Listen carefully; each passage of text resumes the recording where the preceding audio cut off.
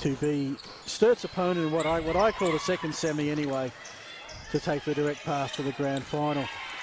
Kayla Williams, she's been doing that. Nice move. Shooting 100%. Five from five, as they say on Hard Quiz. That, that was somehow a reverse spin and fade at once, Yeah. and it went down. Lead by two, 2.16 left. They, the music is getting louder.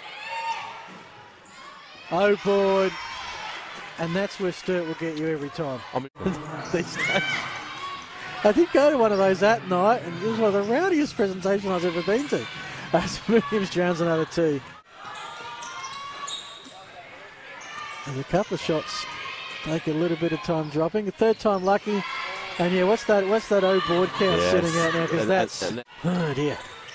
And a turnover, something we haven't seen a lot of. And they're really making the move now. Eight points the lead to Sturt. she's up to 14 points now, Bradley. So if you're a Sturt fan, make make plans for next weekend. That's fine. Well, I reckon the men will probably be playing next weekend as Mika.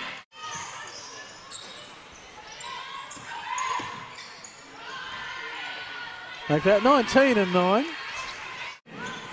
Just as she was getting into it. Mikayla Williams. Yeah, when in doubt.